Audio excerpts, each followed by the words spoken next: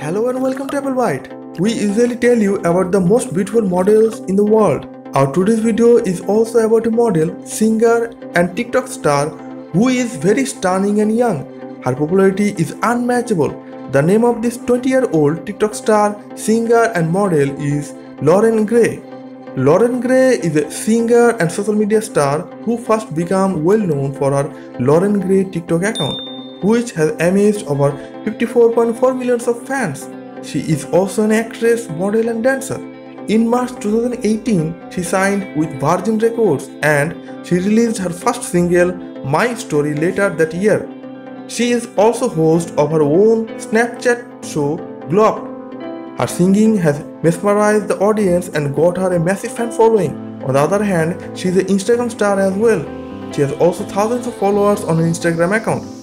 Right now, she has more than 22.6 million of followers on her Instagram account. This number of fan following is an insane amount. She mostly capitalized on her talented singing and also does brand deals from time to time.